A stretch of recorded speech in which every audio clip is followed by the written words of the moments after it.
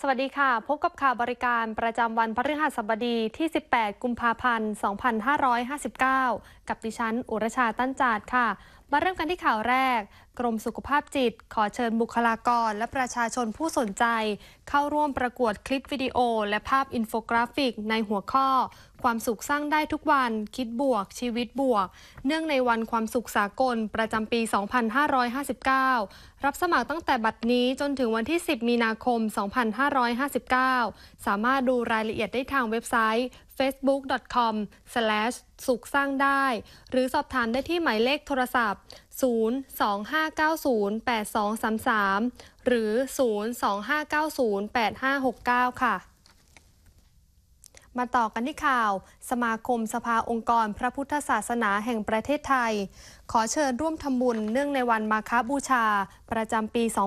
2559 ตั้งแต่บัดนี้จนถึงวันที่ 22 กุมภาพันธ์ 2559 ชื่อบัญชี สมาคมสภาองค์กรพระพุทธศาสนาแห่งประเทศไทย ธนาคารไทยพาณิชย์จำกัดมหาชน สาขาบิ๊กซีพระราม 4 บัญชีออมทรัพย์ เลขที่บัญชี 404ขีด550920ขีด9ธนาคารกสิกรไทย สาขาถนนประดิพัฒน์บัญชีออมทรัพย์ เลขที่บัญชี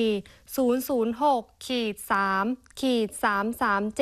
33749ขีด8หรือสอบถามได้ที่หมายเลขโทรศัพท์ 08 1907 5383 หรือ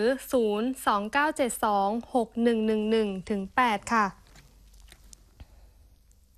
มาต่อกันที่ข่าวตลาดแรงงานค่ะ สถาบันการบินพลเรือน รับสมัครผู้ที่กำลังศึกษาอยู่ชั้นระดับมัธยมศึกษาปีที่ 6 และผู้สำเร็จการศึกษาระดับชั้นมัธยมศึกษาปีที่ 6 หรือเทียบเท่า เข้าศึกษาในหลักสูตรวิชาภาคพื้น ประจำปีการศึกษา 2559 หลักสูตรระดับปริญญาตรี และหลักสูตรระดับอนุปริญญา รับสมัครตั้งแต่บัดนี้จนถึงวันที่ 31 มีนาคม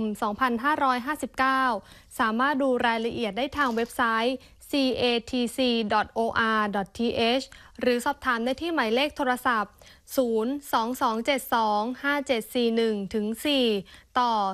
261 หรือ 230 และ 307 และหมายเลขโทรศัพท์ 022725827 ค่ะ